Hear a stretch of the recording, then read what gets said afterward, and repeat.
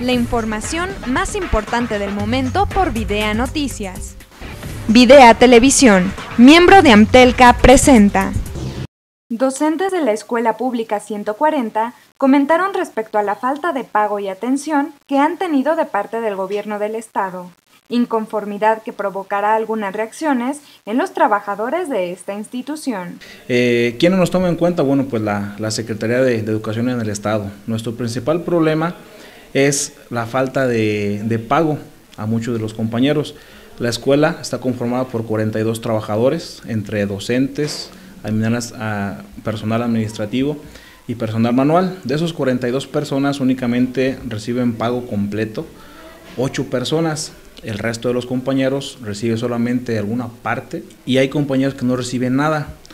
Eh, ¿Cuál es el motivo de esta problemática? Bueno, pues diferentes, diferentes problemas que se han suscitado a nivel político, que de alguna manera nosotros somos ajenos completamente a esa, a esa problemática. Nunca nos hemos quejado de nuestras, de nuestras condiciones de pago, pensando y creyendo que la forma o la vía como se iba a resolver esta problemática, pues era eso, trabajando nosotros.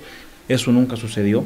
Y viendo que otras escuelas que no trabajan, sí las voltean a ver, bueno, pues entonces ahora nosotros eh, vamos a implementar una serie de, actividades, una, una, serie de acciones con la finalidad de que se nos voltee a ver, de que venga y se nos pregunte cuál es nuestra problemática y que le podamos dar solución. Que se regularicen nuestros, nuestras claves de, trabajo. Número dos, que se paguen los adeudos atrasados. Y número tres, que se equipe completamente la, la escuela. Empezaremos a, a dar a conocer esta problemática a la sociedad en general de la ciudad. El día de hoy estaremos volanteando en diferentes puntos de la, de la ciudad. Vamos a, decirlo así, bloqueando por, por algunos momentos nada más la avenida. Este 19 de mayo se festejó el aniversario número 266 de la edificación de la parroquia del Señor de la Piedad, donde con una ceremonia eucarística celebraron el templo de mayor importancia de esta ciudad.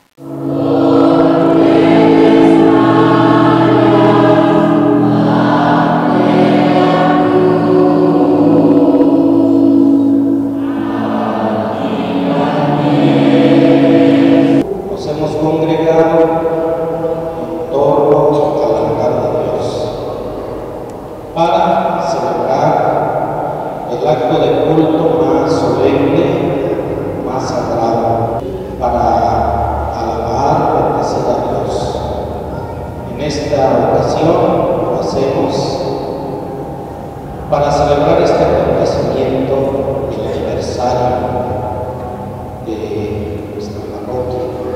Hoy se cumplen 266 años de haberse separado de la cabecera de la Santa para formar una nueva y floreciente comunidad cristiana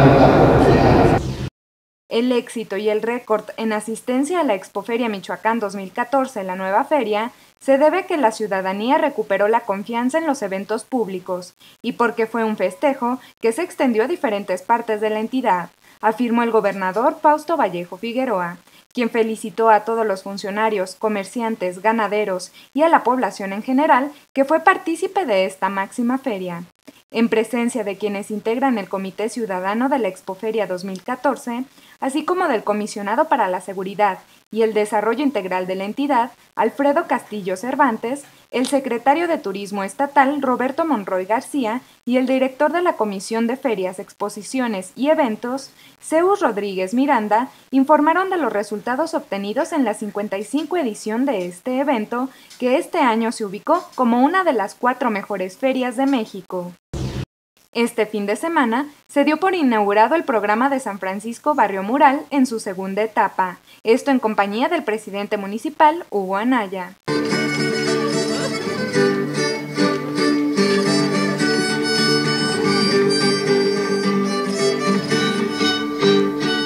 Gracias. Estamos viendo y palpando los murales en nuestro sector de San Francisco. Que recuperáramos un espacio que es tradicional de la piedad, que es muy cerca del centro aparte, y que pudiéramos poco a poco ir convirtiendo toda esta zona desde el centro hasta acá en una zona de atractivo turístico, cultural y artístico de la piedad. Gracias por abrirnos las puertas de sus casas, de sus hogares, a nosotros y principalmente a cada uno de los artistas que han estado trabajando en esta primera y segunda etapa, para los cuales pediría un aplauso porque nos han entregado su trabajo, su arte, sin pedir ninguna cosa a cambio, simplemente por el hecho de poder transformar a la piedad